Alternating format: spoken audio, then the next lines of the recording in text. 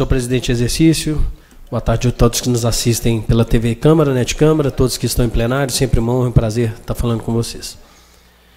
Meus amigos, eu moro ali no bairro Bom Pastor e aí me deparo sempre com algumas demandas né, do cotidiano municipal ali. E não sei se vocês têm o costume de passar ali perto do fórum ou ali perto da Unifenas, da Universidade Unifenas. E se vocês, porventura, já tiverem passado, será que vocês já observaram que agora lá tem em ambos os lados da rua um calçadão para os alunos trafegarem com segurança? Pois é. Tem muita gente que fala de mim, mas não sabe das coisas que a gente faz. E ali na minha região existe uma universidade, uma universidade renomada, a Unifenas, que é cercada de lotes de praticamente uma família, que inclusive tem meu respeito e minha admiração, e que eu estou aqui para agradecer a eles por ter feito esse calçadão junto com a prefeitura para dar dignidade aos estudantes ali da Unifenas. Imagina só que essa demanda chegou de um vereador lá da cidade de Guatama. Pasmem. Um colega vereador que tem uma filha que é estudante aqui na cidade de Vinópolis, nessa universidade, me trouxe essa demanda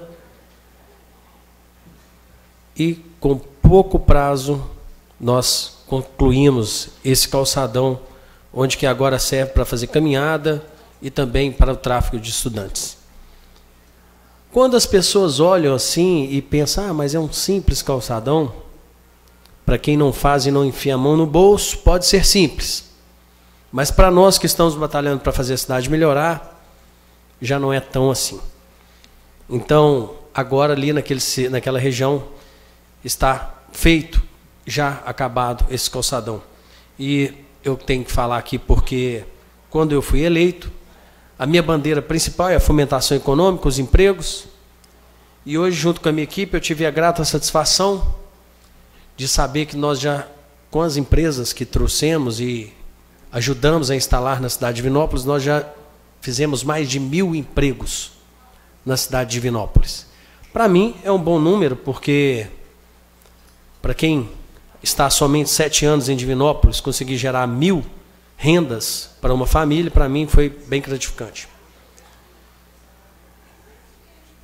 Hoje eu tive reunido com o pessoal da Cervege, com o pessoal, os representantes dos shopping centers, com vários lojistas, porque quando eu vim para Divinópolis, Divinópolis, Divinópolis era considerado a capital da moda.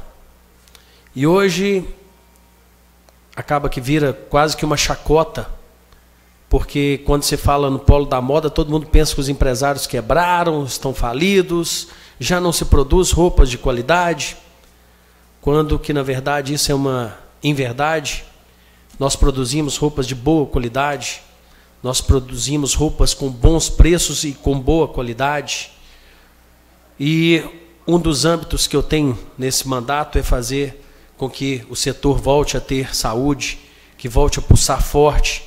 E nós fizemos um projeto onde que a gente vai fazer a semana da moda para fomentar esse comércio, para fomentar essa bandeira que se tornou é, visível e referência em todo o Brasil, como Divinópolis sendo a capital da moda. Então hoje nós tivemos uma reunião muito produtiva com o querido amigo Cléo Dinar, do Bloco do Cléo, meu assessor, braço direito, pessoal da CISVEG, com o pessoal da SEBRAE. E em breve nós vamos estar indo em Brasília para falar sobre essa pauta. Queria mandar um abraço para todos da região da Rua Pernambuco, da Rua Goiás, né? Quem é empreendedor nessa área, nós estamos aí para fazer uma Divinópolis bem melhor. Outra empresa que está sendo instalada em Divinópolis graças ao empenho desse vereador, juntamente com o líder do governo, meu professor Edson Souza, é, a Jeep está sendo instalada e veja só que a gente quase perdeu essa empresa. Vou contar para vocês uma historinha rápida. Um amigo me pediu para levar um veículo da Jeep para fazer uma. Como fala? Revisão. Obrigado, viu, Claudinar? E aí, como eu sempre valorizo quem são os meus parceiros, eu falei, eu tenho duas opções, ou eu levo em Belo Horizonte, ou eu levo ali no sul de Minas, onde que eu tenho um grande amigo que tem uma concessionária, e eu faço questão sempre de colocar dinheiro no bolso de quem sempre ajuda nós, no caso de Vinópolis e o vereador Diego Espino. Então, eu levei o carro lá em Pouso Alegre, do meu amigo Paulo Bom Tempo, e lá fiquei sabendo que estava se instalar a concessionária Jeep no município de Lavras. E eu escutei de rabo de olho e falei, meu Deus, só que tinha uma possibilidade. E nessa possibilidade, a gente colocou o prefeito Gleidson no negócio e rapidamente ele agilizou o procedimento e deu as boas-vindas mais rápido que o município de Lavras e a gente conseguiu trazer a empresa para cá. Como tudo aqui é burocrático e muito burocrático, quase que nós perdemos a empresa. Por um filete de terreno, por um filete de, de lote. Mas nós conseguimos reverter a situação porque a Jeep ela é padronizada em todo mundo, ela é uma empresa padrão. E agora eu estou muito feliz porque a gente acaba de instalar o telhado nós estamos ali bem na 050, ali na cara do gol, que inclusive, vou ter que falar aqui, perdi uma negociação com a Van, devido à política, a gente estava bem quente nessa negociação com a Van. E também temos agora uma nova empresa que provavelmente virá no setor de medicamentos, uma potência. Então, pessoal, eu estou aqui passando situações, situações pessoais, mas de cabeça erguida e junto com a minha equipe fazendo das tripas corações para fazer a cidade melhorar.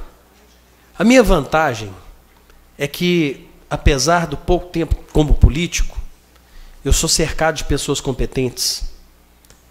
Hoje vai ser colocado aqui nessa casa um projeto onde eu fiquei conhecendo uma pessoa extraordinária, que fala, faz palestras em todo o Brasil, dedicando-se a ter menos acidentes ou quase nenhum acidente.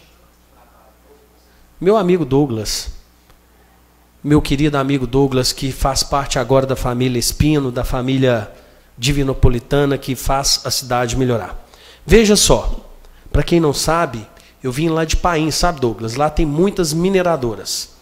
E acidentes de trabalho são quase que diários, por falta de preparo, por falta de um ensinamento, né?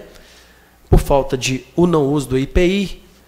E eu queria falar para você, Douglas, da importância desse projeto que você, junto com o Claudinar, através do vereador Diego Espino, tem implementado na cidade de Vinópolis, agradecer e enfatizar a importância da gente estar tá falando sobre é, a segurança do trabalho, não só em Divinópolis, mas toda Minas Gerais. Meus amigos, Siga-me na rede social, Diego Espino DM, porque eu perdi a minha Diego Espino, para mostrar o meu trabalho, o meu excelente trabalho, diga de passagem, junto com a minha bela equipe, por uma cidade muito melhor, junto com o nosso prefeito Gleidson. Vamos junto, que Divinópolis tem jeito sim. Nós